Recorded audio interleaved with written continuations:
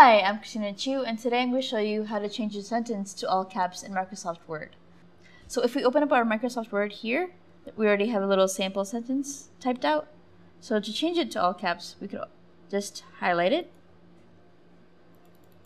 like so, and in our home menu, you should see a little text format one.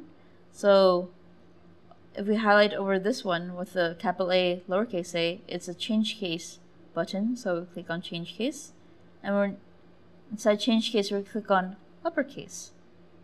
So now you can see that our entire highlighted sentence became all uppercase or all capital letters. So we do the same thing with lowercase and back again with uppercase.